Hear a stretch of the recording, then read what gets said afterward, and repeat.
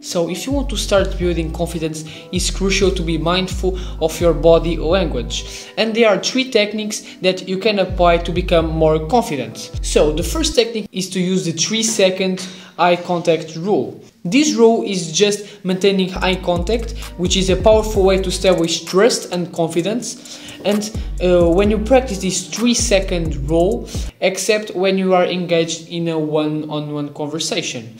So let's look this example where Tommy Shelby maintained high contact. Thickest. I'm told the boss is called Tommy, and I'm guessing that's you, because you're looking me up and down like I'm a tart. I want to know what you want. Well, you're gonna die. Right here.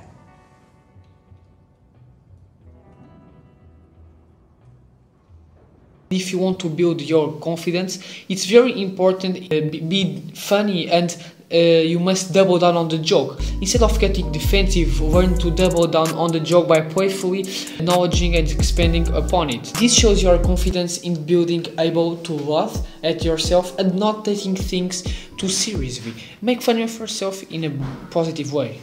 Another rule is to, is that you need to take up more space.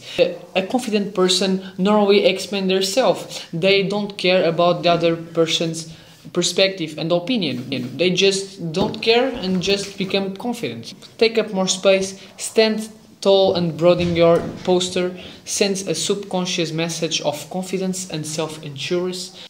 Another way to become more confident is to activate your confident body language.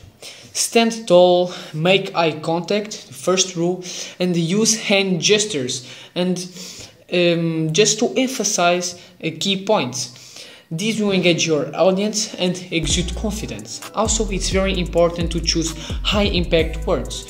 Select impactful words Speak slow, which is very important, and phrases to enhance the storytelling experience. You, don't, you need to know that confident individuals have a way of expressing themselves that captivates others. They speak with clarity, they speak slow with articulation and assertiveness. They choose their words wisely. You will notice that they don't stumble in their words.